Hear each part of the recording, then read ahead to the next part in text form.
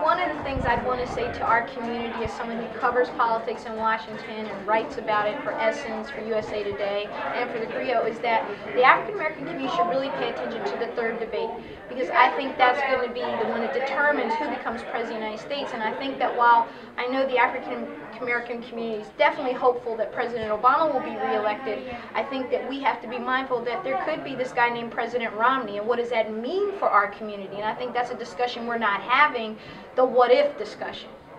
And I think that's something we ought to pay attention to.